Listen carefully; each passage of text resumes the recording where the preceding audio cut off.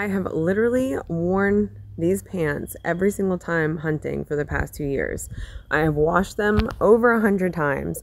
The color's still intact. There's no fraying with the thread or the material. These are definitely high quality pants and the last pair of pants that you will ever buy for outdoors.